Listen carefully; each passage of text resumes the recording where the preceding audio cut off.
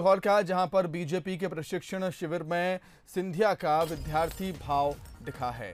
प्रशिक्षण शिविर में मंच से शिवराज ने प्रशिक्षण का महत्व बताया। जिलाध्यक्षों के साथ नीचे बैठकर सिंधिया जी शिवराज का भाषण सुनते रहे। प्रशिक्षण शिविर में प्रशिक्षणार्थियों के तौर पर सिंधिया शामिल हुए थे। शिवराज ने बीजेपी में प्रशिक्षण की परंपरा पर भाषण दिया था। सुहास भगत ने जनसंघ से अब तक बीजेपी के सफ़र को बताया है, सीहोर में बीजेपी के दो दिवसीय प्रशिक्षण शिविर में यहाँ पर दिग्गज नेता पहुँचे हुए हैं ट्रेनिंग कैंप में भाग लेने के लिए। तो अधिक जानकारी के लिए, अधिक चर्चा के लिए हम बातचीत करेंगे हमारे संवाददाता, विशेष संवाददाता जुगल से। जुगल, एक ट्रेनी के तौर पर यहाँ पर सिंधिया जी इस शिविर में शामिल हुए हैं और वैसा ही कुछ देखने को मिला।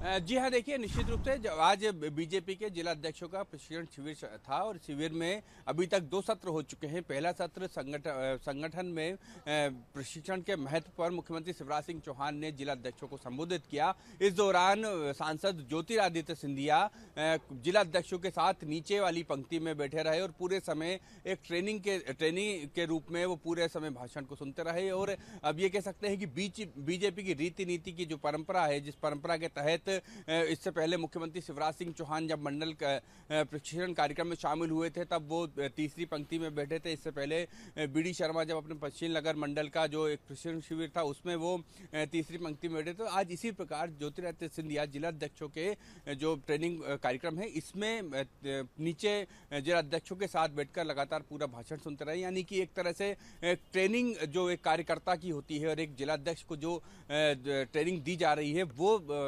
सांसद ज्योति सिंधिया ने ली है।